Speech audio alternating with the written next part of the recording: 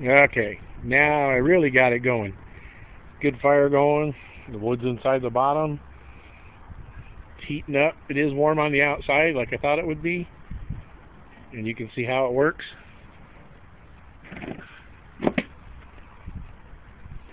Look down in here. You probably see the fire in there. I don't know if you can or not, but yep, there's a fire in there. And it comes out the top. All done.